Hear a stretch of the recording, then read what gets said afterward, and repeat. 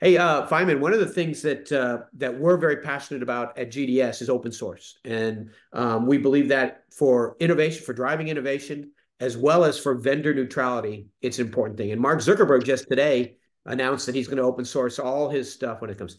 Talk to me a little bit about how you view open source, both at the model level and at the data stack level. How do you see it uh, being uh, powerful in our industry, and uh, and what are what are people what should people be uh, looking at from a practitioner point of view when they when they think about open source versus closed models?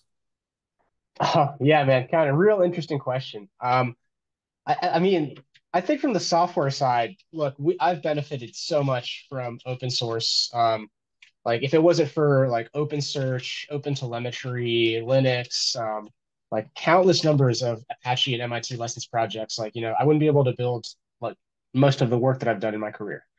So um, I'm like you know immeasurably grateful for it. Um, and I think that you should prefer it unless you have a very good reason, unless a vendor gives you something that you absolutely can't live with.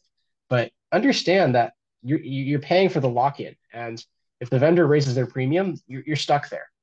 Um, this is especially true when it comes to AI models. Um, with these AI models, uh, LLMs in particular, switch they're not as interchangeable as say a database provider because the interface is not standardized. Asking Anthropic to do something will produce different results than asking OpenAI to do it. So you really don't have an equivalent good um, to exchange between here.